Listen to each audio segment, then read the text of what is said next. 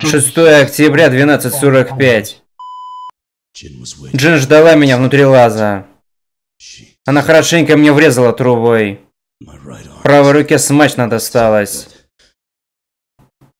Она продолжает называть меня Джейком и кричит словно... Я... Никогда не понимал, что он сотворил с ней.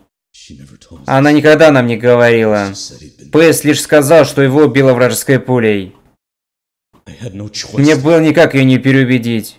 Она была убеждена, что я Джейк, и продолжала наступать. Я пытался остановить ее, просто вырубить, но не смог. Я...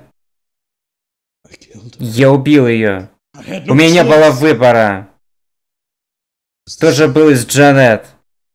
И никогда не хотел, чтобы у меня была сестра.